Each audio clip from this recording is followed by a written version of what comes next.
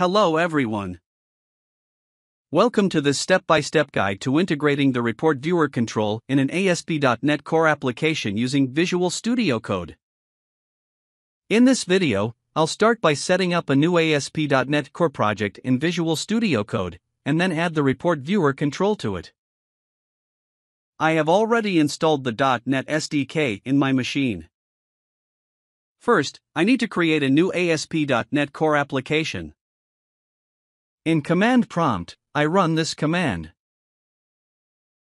Here, Core Report Viewer is the application name. Once the application is created, the NuGet packages have to be installed. So, I change the current working directory to the application root folder. Then, I run this command to add the boldreports.aspnet.core package to the application. In the same way, I add the boldreports.net.core and system.data.sql client packages. I'll explain the purpose of each package. The boldreports.aspnet.core package creates a client-side reporting control using tag helpers. The boldreports.net.core package creates a web API service to process the reports. System.data.sql client is an optional package. It should be installed when the RDL report contains a SQL Server or SQL Azure data source. The dependent packages will be installed automatically on installing the boldreports.net.core package. Next, I need to reference the scripts and CSS to render the report viewer control. I open the application in Visual Studio Code. In this video, I am using CDN links to reference scripts and a theme. You can also use local scripts and themes. I have included an FAQ link for them in the description for this video. I open the layout.cshtml page in the views slash shared folder. I copy the necessary scripts from the documentation and add them in the head tag. This documentation link is also available in the description for this video.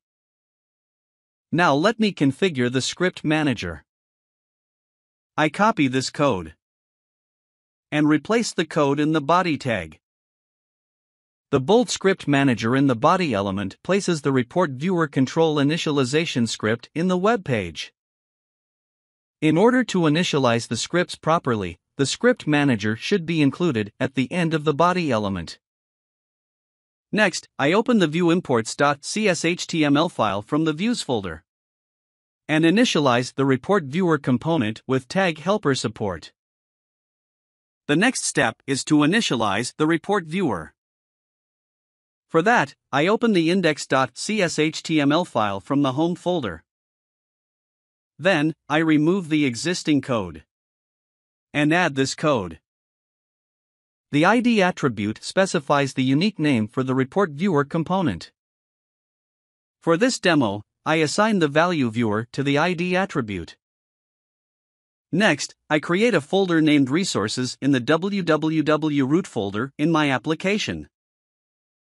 This is where the RDL reports are stored. For this video, I add the salesorder.detail.rdl file to the resources folder. You will find the salesorder.detail.rdl file downloadable link in the video description. Next, I need to configure the Web API. The ASP.NET Core Report Viewer requires a Web API service to process the RDL, RDLC, and SSRS report files. I create a new file and name it reportviewercontroller.cs inside the controller folder. In the controller file, I add the necessary using statement. Next, I add the namespace. Core Report Viewer is the application name. Inside the namespace, I create the class and inherited controller and iReport controller. And add the route attribute to the class. I copy the necessary variables and methods from documentation and add them inside the class. The iReport controller interface has a declaration of action methods that are required in the Web API controller for processing reports and handling resource requests from the report viewer control. The post report action processes the report request on the server side and returns the processed reporting result to the client side. The onInit report options method is invoked from a report helper when the report is about to be processed at the time of preview. The onReport loaded method is invoked from a report helper when the report and subreport start loading for report rendering. The getResource method gets the images used in the report from the server at the time of preview in the designer. The postform report action method saves the exported report to the client. The report helper class contains helper methods that help process the request from the report viewer control on the server side and return the response to the report viewer control. The getResource method is used to return the report resource to the requested key. The process report method is used to process the report request and returns the result. Next, I register the license token to remove the license validation message. In this demo, I am going to use the online license token. License tokens can be generated in the subscription section of the Bold Reports accounts page. I open the program.cs file and enter the code snippet to register the license token. I have provided the link to a video on registering a license using online license tokens and offline license keys in this video's description. Let's move on to showing the sales order detail.rdl with the report viewer. I open the index.cshtml page and first set the report service URL.